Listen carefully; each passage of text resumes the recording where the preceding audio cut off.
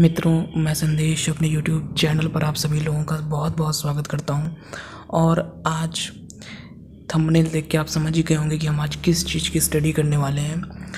Friends आज ही के दिन 11 अगस्त 1961 को जो दादरा और नगर हवेली एक हमारा केंद्र शासित राज्य है, वो भारत का एक अंग बना था। भारत में उसका विलय हुआ था।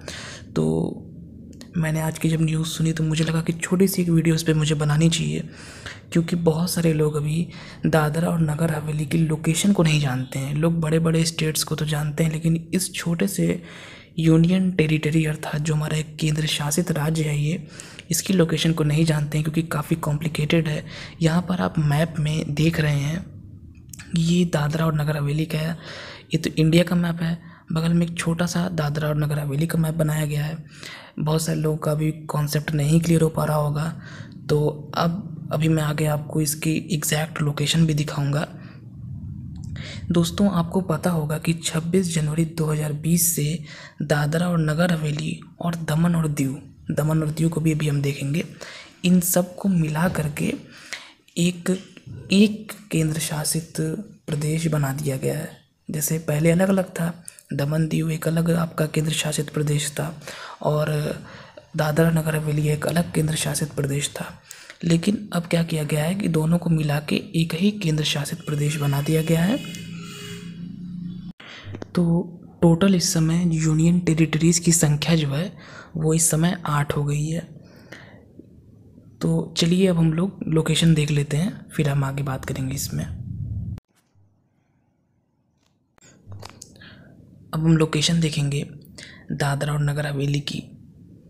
ये आपके सामने सबसे पहले इंडिया और इंडिया में ये रहा आपका दादरा एंड नगर हवेली। ये रेड कलर से मार्क किया गया क्षेत्र है, बहुत ही छोटा इसका एरिया है। टोटल चार सौ इक्यानवे किलोमीटर स्क्वायर का इसका पूरा क्षेत्र है और इसमें दादरा एंड नगर हवेली, साथ में बोलते हैं हम, लेकिन ये जो आपको बड़ा वाला एरिया दिख रहा है इसमें, जो मैं इसमें जूम कर रहा हूँ यहाँ पे स्क्रीन पे आपके हो रहा होगा, ये तो आपका नगर हवेली है। इसके नाम में दो चीज़ें हैं, और ये छोटा वाला एक राउंड सा पार्ट है, यहाँ आप देख रहे होंगे लिखा हुआ है दादर। तो दादरा नगर हवेली हम दो दो चीज़ें बोलते हैं, जिसमें कि बड़ा वाला जो हिस्सा है वो नगर हवेली है, और छोटा सा जो ऊपर सर्कल टाइप का था दैट इज़ कॉल्ड दादरा, वो दादर है। और ये बिल्कुल जो हमारा महाराष्ट्र और गुजरात का जो बॉर्डर है, वहीं पर वहीं पर इसकी लोकेशन है। अब चलिए हम लोग इसको देख ही लिए हैं और मैंने आपको बताया ही है अभी कि 26 जनवरी 2020 से दमन दीव और दादरा नगर हवेली एक यूटी हो चुके हैं, एक यूनियन टेरिटरी बन गए हैं। तो हम उनकी भी लोकेशन एक बार देख लेते हैं।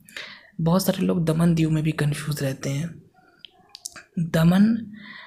और यहाँ एक चीज़ मैं यहाँ पे और बता दूँ। पहले तो कैपिटल्स अलग अलग थी लेकिन अब क्या है जब एक यूनियन टेरिटरी हो गई है तो इन सब की जो कैपिटल है वो है रा, उसकी राजधानी है दमन। ये आपका दीव है और एक आइलैंड के रूप में है ये और मेन लैंड से ही में सोमनाथ आप देख रहे हैं गुजरात का। मेन लैंड से जुड़ा हुआ है ये पुल के माध्यम से। और ये आपका दमन। दमन इस साइड है, काफ़ी दूरी है दोनों में। और इस इंडिया के मैप में आप दोनों को बिल्कुल सही देख रहे हैं। वहाँ हो सकता है बहुत सारे लोग ना समझ पाए हों, लेकिन यहाँ राउंड राउंड किया गया रेड कलर से दमन और दीव। और ये दादरा नगर हवेली, अब आप इसको समझिए, जो भी मैंने आपको दिखाया था ग्लोब पर, अब ये देखिए, ये गुजरात है, ये महाराष्ट्र। गुजरात और महाराष्ट्र के बीच में एक एरिया है, बिल्कुल बॉर्डर पे मतलब ये दादरा तो आपका पूरी तरीके से गुजरात के अंदर ही है, लेकिन जो नगर हवेली है, वो दोनों से सीमा बना रहा है। उसका ऊपर वाला हिस्सा गुजरात से सीमा बना रहा है और उसका साउथ वाला साउथ वाला जो पार्ट है, वो महाराष्ट्र से सीमा बना रहा है। ये ऑफिशियली जो उसका एक लोगो कह सकते हैं UT administration of Dadra and Nagar Haveli and Daman and Diu. अब आइए हम लोग दोस्तों थोड़ा इसके इतिहास पे बात कर लेते हैं। दोनों ही जो एरियाज़ हैं दमन और दीव हो, चाहे आपका दादरा नगर हवेली हो, दोनों का इतिहास काफ़ी मिलता जुलता है और पुर्तगाली शासकों के अधीन ये दोनों ही क्षेत्र रहे हैं। ये जो आप बिल्डिंग देख रहे हैं और ऐसी बहुत सारी बिल्डिंग्स जैसे अब ये दूसरी एक बिल्डिंग है। जब आप इन एरियाज़ में जाएँगे, दादरा नगर हवेली या दमन दीव तो यहाँ पर आपको इस प्रकार के जो है ऐसी ऐसी बिल्डिंग्स देखने को मिलेंगी, जो कि काफ़ी आपको वहाँ की हिस्ट्री के बारे में जानकारी देंगी। आपको लगेगा कि आप इंडिया से हट के किसी एक ऐसे क्षेत्र में आ गए हैं। बिल्कुल आपको अलग ही फील आएगी वहाँ पे। जैसा कि आप जो ये इन तस्वीरों में देख रहे हैं, ये एक वहाँ का संभवतः चर्च लग रहा है। तो पूरी तरीके से इन्फ्लुएंस लगेगा और ये आपको महसूस होगा कि कभी ना कभी ये जो एरियाज़ हैं, ये पुर्तगाली शासकों के अधीन में रहे हैं। तो फ्रेंड्स इस अध्याय को हम ज़्यादा लंबा नहीं करेंगे। बस इसमें हम यही कहना चाहेंगे कि कभी अगर आप उन एरियाज़ में जाएँ तो इन क्षेत्रों में जा सकते हैं। और जो पुर्तगाली एक प्रभाव है वो अभी भी वहाँ की बिल्डिंग्स में, वहाँ के रहन सहन में कहीं कहीं ना कहीं वो झलक आपको देखने को मिलेगी।